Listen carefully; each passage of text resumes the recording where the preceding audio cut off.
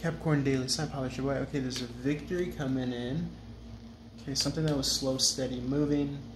Um, someone's kind of rushing to, to meet you there, to congratulate you, how you succeeded over the long haul by uh, going into the self, um, holding on to your steady ground, steady footing. Uh, you could have picked a decision that, that was for your highest spiritual good.